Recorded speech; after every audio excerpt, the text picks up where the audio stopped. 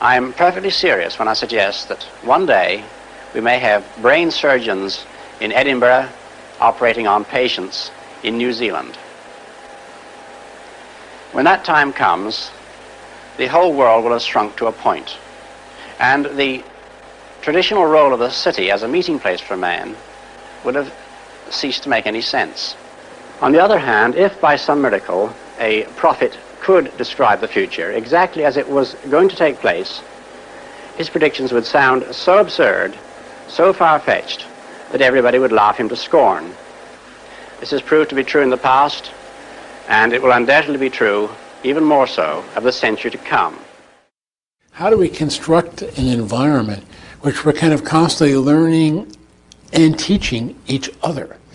Because if you think about it a moment, the best way to learn something is to teach it. And how do you construct a context where that's possible? Hang with me in my MMO. So many places we can go. You'll never see my actual face. Our love, our love will be in virtual space. So the example I gave a second ago was working shoulder to shoulder with another student. But maybe now it's only my avatar is working shoulder to shoulder. And maybe what I now have is infinitely more powerful tools to be able to craft things with. These things will make possible a world in which we can be in instant contact with each other, wherever we may be, where we can contact our friends anywhere on earth, even if we don't know their actual physical location.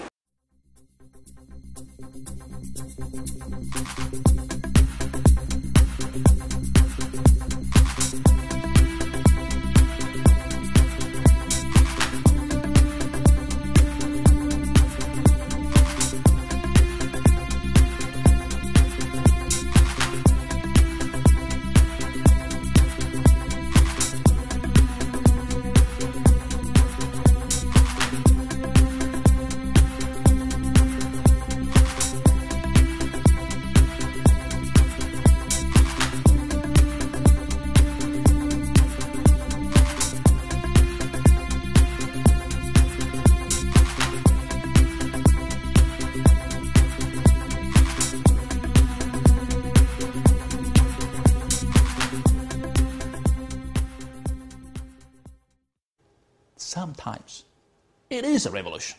So that feeling, which is very widespread, you have to ask any kid or any grown up, they will feel like things are changing in an amazing way. That is what we normally call a digital revolution, an information revolution, a communication revolution. There are different labels. The point at this stage uh, in our sort of human history is not so much that our technologies are empowering us to do extraordinary things. So it's not about what the technologies are enabling us to do with the world.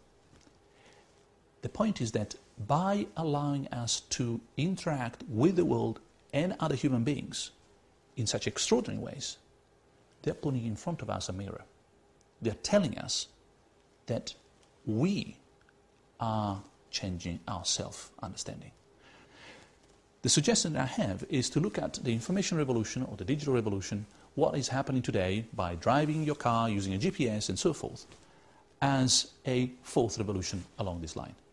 Is the view that what is really changing, of course, is the extraordinary things that we can do with the world and to the world through the technologies. But the message there is who we are. The kind of uh, informational organisms that live, flourish, interact, not as standalone entities, but as networked uh, agents in a world that is made of information. Now, that further uh, movement is what I call the fourth revolution.